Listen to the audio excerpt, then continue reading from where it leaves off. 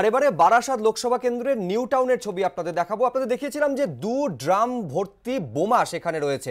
সেই ছবি আপনারা দেখতে পাচ্ছেন। কুড়িটি বোমা এখনও পর্যন্ত উদ্ধার হয়েছে। বিস্তারিত সেই ছবি তুলে ধরেছেন আমাদের প্রতিনিধি অর্ণব মুখোপাধ্যায়। দেখব। নিউ টাউনের বালিগড়ি, বালিগড়িতে সকালবেলা এই জঙ্গলে দুটি ড্রামকে ঘিরে আতঙ্ক ছড়ায়।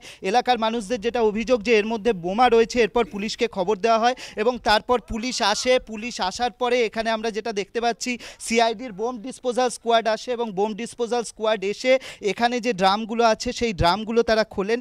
এই মুহূর্তে আমরা দেখতে পাচ্ছি যে ড্রামেতে বোম রয়েছে এবং ড্রামেতে কুড়িটি মোট বোম এখানে রয়েছে, আমরা দেখতে পাচ্ছি। তো স্বাভাবিকভাবেই পুলিশের পক্ষ থেকে এখানে যে স্ট্যান্ডার্ড অপারেশন প্রসিডিওর সেই স্ট্যান্ডার্ড অপারেশন প্রসিডিওর মেনটেন করা হচ্ছে এবং তারা ড্রেস পরে এখানে এসছেন।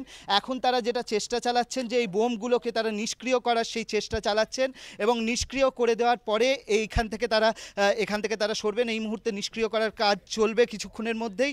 তো স্বাভাবিকভাবে এলাকায় কিন্তু যথেষ্ট উত্তেজনা রয়েছে। ক্যামেরায় প্রীতম চক্রবর্তীর সঙ্গে Arnab Mukhopadhyay, ABP Ananda, Rajarhat, new town.